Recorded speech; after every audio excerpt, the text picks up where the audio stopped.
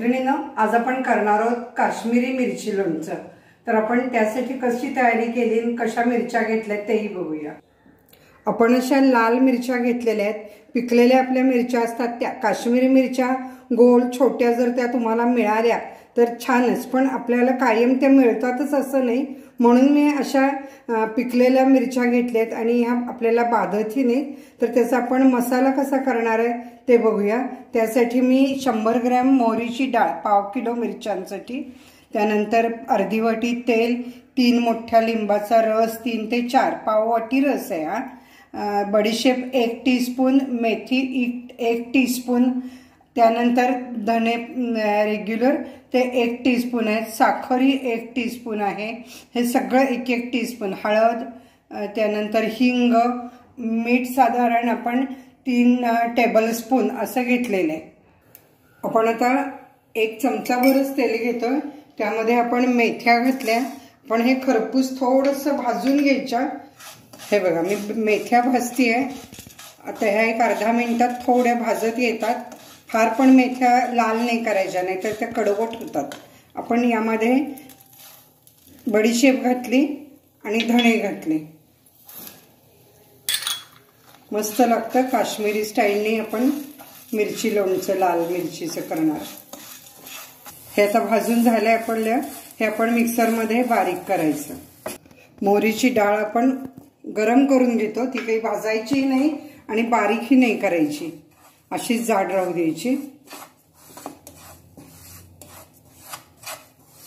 शंभर ग्रॅम डाळ आपण पाव किलोसाठी घेतलेली आहे. ही डाळ आपली भाजून झाली मी गॅस बंद केलाय तोपर्यंत आपलं ते बाकीचं गार झालेलं आहे. धने मेथी आणि बडीशेप हे तिन्ही आपण मिक्सरला फिरवून घेतोय. आता आपलं तेल गरम झालं की आपण यामध्ये हिंग घालणार आहे. तुम्ही जर मा- माझा व्हिडिओ प्रथम बघत असाल तर सबस्क्राईब करा आणि भरपूर आपण नवीन नवीन रेसिपी टाकत असतो तर जरूर पाहत राहा. असं छान हिंग आपला तळला जातो. हळद पण घालते मी.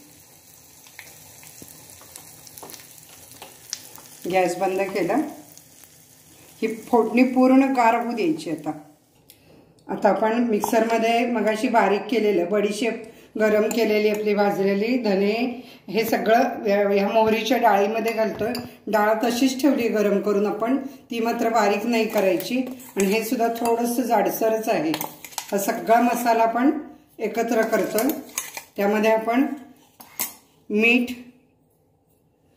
त्यानंतर साखर लिंबाचा रस आणि फोडणी आपण गार झालेली ओतणार आहे. आता आपली फोडणी ही पूर्ण गार झालेली आहे. त्यातली थोडी फोडणी मी तशीच ठेवणार आहे. आणि बाकी आपण यामध्ये मिक्स करतो हे आपण वरणं घालणार आहे. वरणी भरल्यावर वरती. अगदी मस्त वास येतो याला. आपल्या आता ह्या मिरच्या आहेत ह्या आपण मध्ये चीर पाडून करून घ्यायच्या तुम्हाला बघा मिरच्या जर मिळाल्या प्युअर काश्मीरी तर छानच आहे. मोठ्याही मिरच्या येतात सिजनेबल मिरची असते. अशी चीर पाडतो आपण. प्रत्येक मिरचीला मी असं चिरून घेतलेलं आहे. यामध्ये मी आता मसाला भरणार आहे हा. हे असं चिरतो आपण.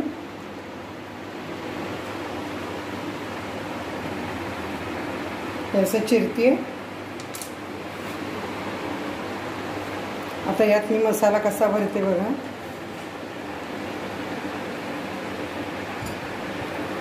असं चमच्याने किंवा हाताने कसंही भरा तुम्ही. भरपूर मसाला राहतो.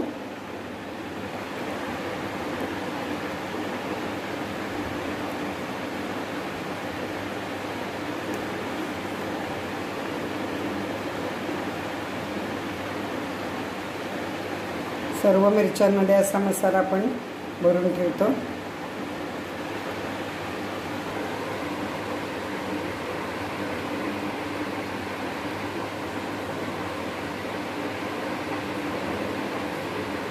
अशा आपल्या सर्व मिरच्या या भरून झालेल्या आहेत.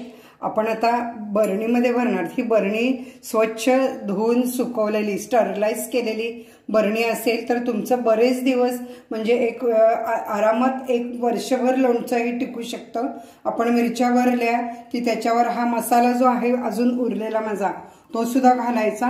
आणि ही जी फोडणी आहे ती सुद्धा आपण वरनं घालणार आहे. वर थोडं तेल असलं की लोणचं जास्तीत जास्त दिवस टिकतं. आणि मिरच्याही आपण सुरुवातीला स्वच्छ धुवून कोरड्या पुसून घेतल्या होत्या. इथं आपण पाण्याचा अंश कुठलाही ठेवत नाही तरच ते लोणचं आपलं टिकतं. आपण भरताना सुद्धा बघा अगदी व्यवस्थित मिरची यामध्ये भरणार आहोत. उभ्या अशाच टाकायच्या. मुरल्यावर त्या छान पंधरा दिवस तरी मुरू दे आणि मग नंतर तुम्ही ते घट्ट झाकण लावून ठेवा. पंधरा दिवस तरी मुरायला पाहिजे आपलं लोणचं. असं सगळं आपण हे यामध्ये भरतो. आता यात आपण हा मसाला आहे हा मध्ये घालायचा. पुन्हा आपल्याला थोड्या ह्या मिरच्या आपण घालायच्या. अशी उभी बरणी घ्या म्हणजे त्यामध्ये छान या मिरच्या अशा दाबून भरल्या तरी हरकत नाही. आणि फोडणी पण आपण ही वरून घालतो आणि घट्ट झाकण लावून ठेवायचं.